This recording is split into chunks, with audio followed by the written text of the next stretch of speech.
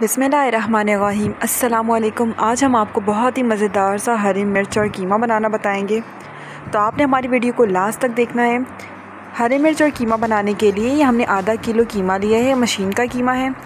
और सबसे पहले एक पतीली के अंदर हम एक कप के करीब तेल डालेंगे। तेल को गर्म करेंगे। अब हम इसके अंदर प्याज डाल देंगे। तीन अदद हमने प्याज लिए। इसे हमने स्लाइसिस में काट लिया है। प्याज को हम गोल्डन ब्राउन हो जाने तक फ्राई कर लेंगे। प्याज का कलर चेंज होना शुरू हो गया है। फ्राई के दौरान हम इसके अंदर एक अदद तेज़पत्ता, दो अदद दालचीनी और तीन लौंग और चार से पाँच अदद हम इसके अंदर काली मिर्च डाल देंगे।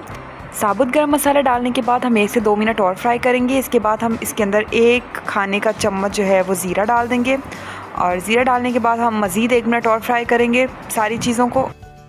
आप देख सकते हैं प्याज का कलर ब्राउन होना शुरू हो गया है। अब हम इसके अंदर अदरक लहसुन का पेस्ट डाल देंगे एक खाने का चम्मच। और इसे भी हम एक मिनट के लिए फ्राई कर लेंगे प्याज के साथ।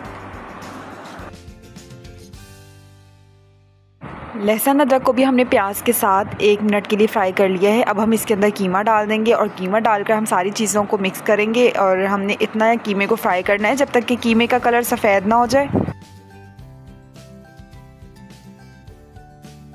कीमे का कलर चेंज हो गया है। अब हम इसके अंदर एक खाने का चम्मच पिसा हुआ धनिया डाल देंगे, एक चाय का चम्मच, हम इसके अंदर हल्दी डालेंगे, एक चाय का चम्मच नमक डाल देंगे।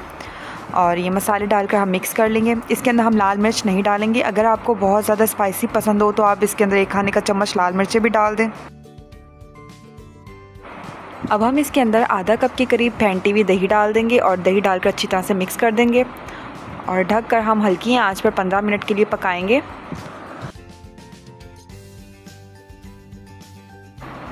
पंद्रह मिनट हो चुके हैं। अब हम इसके अंदर हरी मिर्चें डाल देंगे। हमने छः अदद हरी मिर्चें लिए इसे काट कर हम इसके अंदर डाल देंगे। आप चाहें तो हरी मिर्चें ज़्यादा भी डाल सकते हैं। हमारे यहाँ बहुत ज़्यादा मिर्चें नहीं पसंद की जाती तो इसलिए हमने कम डाली हैं।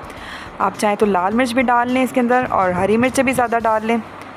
और हरी मिर्चें डालने के बाद हम अच्छी तरह से भून लेंगे, जब तक कि कीमे में से जो तेल है वो बिल्कुल अलहदा ना हो जाए।